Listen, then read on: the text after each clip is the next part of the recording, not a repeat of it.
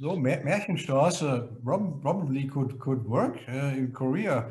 Um, um, I would like to mention that there are some ideas of working in, in other countries. For example, in Russia, uh, we had an, uh, an invitation uh, two years, three years ago uh, to um, the city close to Moscow.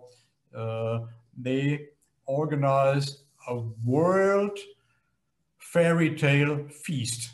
Yeah. Uh, a big, a big uh, event uh, with uh, fairy tale figures from many countries. Um, so same, same idea, same idea. When you go international, it, it will be even more attractive. We cooperate with Robin Hood Nottingham.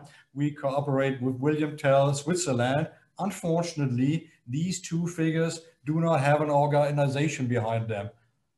Um, they're working on, on their own, which makes it a little bit difficult. But when you bring those actors together, uh, we had this three or four times in, in uh, Nottingham, in Hameln, in, uh, in Zurich, uh, where the, uh, the Vierwaldstätter, uh, the lake of Vierwaldstätt, where the um, William Tell lives. When you bring these international figures together, it's unbelievable you have such uh, reactions, um, uh, strong reactions of uh, guests and visitors. It's unbelievable. Um, so it works. I think it works not only in Germany with that examples I mentioned, um, and I'm sure it will be a real big topic in, in Korea.